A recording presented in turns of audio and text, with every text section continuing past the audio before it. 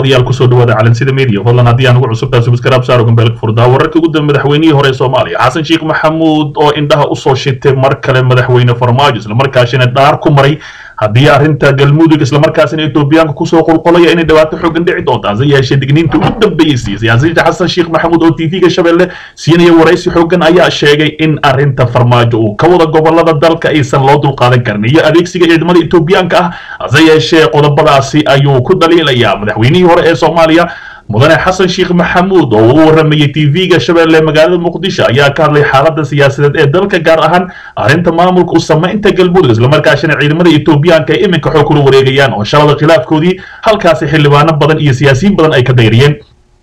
madaxweynihii hore soomaaliya xasan sheekh maxamuud ayaa ugu horreyn ka digay dhibaatada hor leh oo ka dhalan karta ciidamada kala duwan ee ay dowladda soomaaliya u daabulayso gudaha magaalada dhuusamareeb ee caasimada gobolka galmudug. Bartamaha dalka soomaaliya uu amray madaxweyne farmaajo islamarkaasina cabsi xoogan ay ka qabaan shacabka iyo dhammaan dadweynaha danaya dowladda galmudug. Hase yeeshee arrintaasi caqabad xun ay ka dhalan doonto madaxweyne farmaajone arrintaasi ay ku noqon doonto mid uu ka shalaayo sidoo kale wuxuu tilmaamay haddii aan si fiican loo maaraynin arrinta galmudug ay dhici doonto khatar xoog leh oo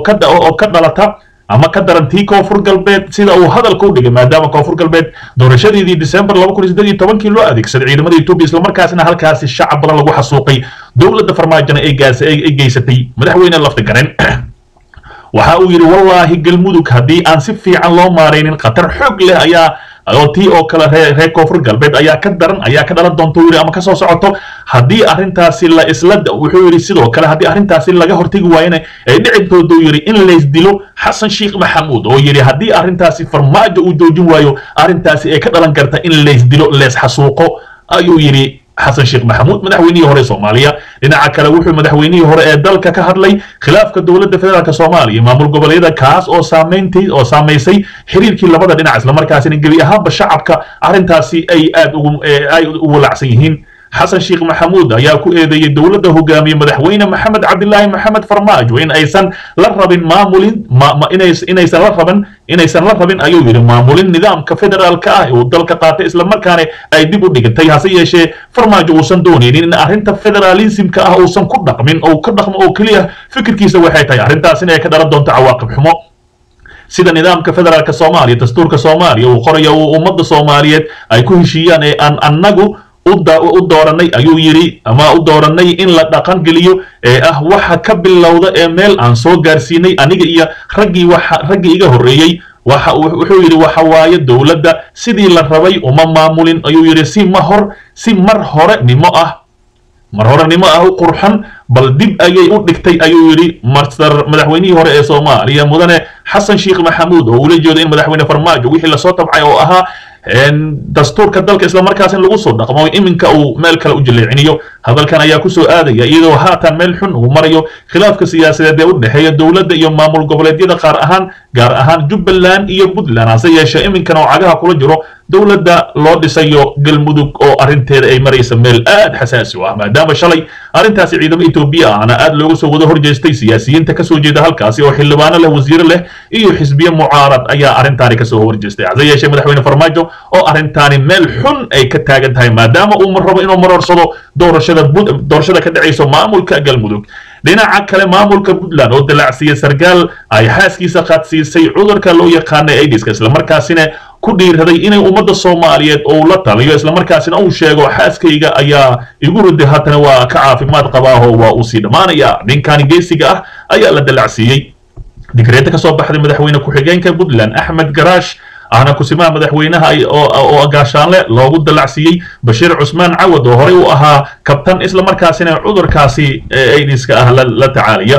bashiir oo ah taliyaha kontaroolka galbeed ee magaalada garowe ayaa dhiirageliyey dadka la nool cudurka aidiska oo bulshada dhexdeeda badana kala kulmata kor islamarkaasina uu mar dhowe tv-ga ka soo muuqday isagoo arrintaas faahfaahinayo waxaa maqli jiray berigii hore dadka oo faquuqaya qofka qaba qaaxada ama cudurka qaaxada baryo kadib waxaana caddaatay weli inaan waxba ahayn h i v ama cudurka aidiska kuna waa waa sidaasi waxaa sidii sheegay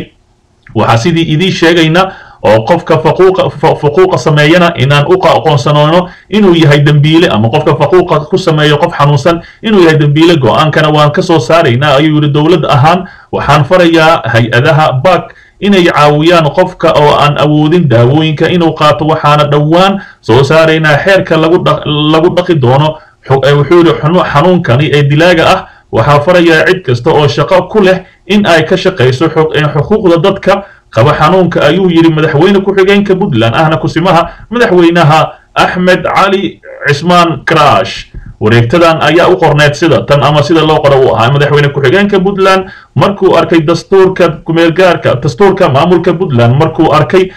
kartidiisa aqooneed iyo howlkarnimadiisa ciidan ninka lagu magacaabo bashiir wuxuu xeeriyey kow waxaan dhammaan bashiir cusmaan cawad loo dallacsiiyey darajada gaashaanle islamarkaasina hore u ahaa kabtan dhammaan bashiir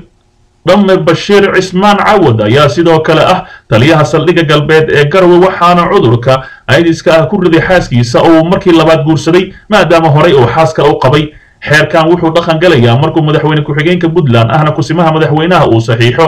wuxuuna saxiixay madaxweynaha wuu saxiixay iminkadan. Hase yeeshee arrintaasaas ayay ku howlgashay. Dalacsiinta sarkaalkan ayaa ku soo beegmaysa maanta oo dunida loogu dabaaldegayo maalinta cudurka dilaaga ah ee aidiska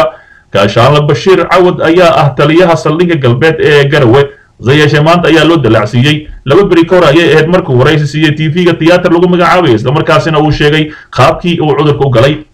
Sarkaalkan ayaa markii hore wuxuu qabay gabar hase yeeshee markii dambe gabar ayuu bartay. Sida la sheegay gabadhii ayaana marka uu guursaday kadib laba bil gudahood xanuunkani ayaa ku dhacay. Wuxuuna dareemi jiray xanuun aad u weyn islamarkaasina asigoo waraysiga sii wadayana sii wadanaya aadna ugu sheekaynaya oona cabsi iyo waxaas qabin ayaa ugu dambayntii waxaan iska baaruuray cudurkii. Markii la yidhi waa qabtaana gabadhii waa furay. Islamarkii gabadhii waxaan keenay ayuu yidhi meesha lagu magacaabo saldhigga halkaasi oo la weydiiyey su'aal islamarkaasina waa ay diiday kadibna boorsadeeda ayaa laga helay kiniiniyaal halkaasi oo markii dambe ugu dambayn ay sheegtay ugu dambayntii gabadhan lama soo bandhigin mana la sheegin qaabkii ugu dhacday masinay ku keentay mase nin horaa ku soo riday. Ayadane waa uu iska cafiyey maadaama la yidhi qofkan haddii cudurkan kugu riday dil ayay mutaysanaysaa kadibna waa uu iska diido wuxuu yidhi waa cafiyey wiilkan ayaa islamarkiiba soo xajiyey hase yeeshee diinta ayuu u dhowaaday haddana waxa uu leeyahay baaritaankii ugu dambeeyey markaa maro waxaa la leeyahay bahalkaagu wuu siliciifayaa alxamdulilahi ugu dambayntii gabadhii kale oo xaaskii kale aan qabay ayaan ka baaray ayuu yidhi carruurtaydii dhammaanna waa ay ka fiyow yihiin. Hase yeeshee iminka waa un kala joognaa howri uma tago. Oo xaaskaygii hore mana furin laakiin ma u tago yidhi. Waxaana samaynaya ayuu yidhi la dacaalid kiniin ayaa cunaya islamarkaasina diinta ayaa u dhowaanaya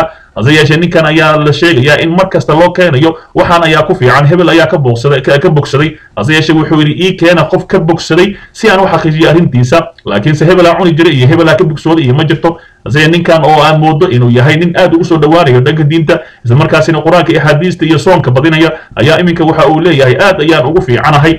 Alxamdulilah xanuuna ima haayo laakiin mar kastaba aan buro waa sii yaraanayaa laakiin dadka qaba waxaan ku talinayaa in marnaba aysan niyad jabin oo ay ilaahay u dhowaadaan islamarkaasina aysan niyad iska dilin ay caadi iska dhigaan kadibna bahalkan waa u dhammaanayaa ninkan oo dad soomaaliyeed intooda badan boqolaal kun oo soomaali ah ee aad u soo dhoweysay aadna ugu farxeen maadaama uu dhiirigelinayo. Iminkana dowladda puntland ayaa sheegtay in ay dhaqan gelinayso sharci cusub oo lagula dhaqmayo qof kasta oo cudurkaasi qabo si goonina loo xanaanayn doono. Laakiin qofkii takawara islamarkaasina qof ku dhahaa war cudurkaasi ayaa qabtaa iga leex wax kula cuni maa kula cabi maa hase yeeshee qofkaasi wuxuu mutaysan doonaa xerig aad u weyn iyo ganaax aad u culus. Hase yeeshee arrintaani waa soo dhowaynaynaa ummadda soomaaliyed waa soo dhowaynaysaa qof kastoo xanuunkan keena kulley maaragtay xag ilaahay ama maaragtay ilaah baa u qadaray oo waa ay dhacday islamarkaasina lama doonayo in lagu faquuqo. Halkaa naga daawanaysaa waa calansida media. Fadlan subscribe saarka beelkfor waxaa inoo soo socda warar xasaasi ah. Al-shabaab oo duqayn xoogan lagu dilay islamarkaasina saraakiil sarsare madaafiic lagu dilay. Halkaa naga daawanaysaa waa calansida nala joog. Subscribe saarka beelka furo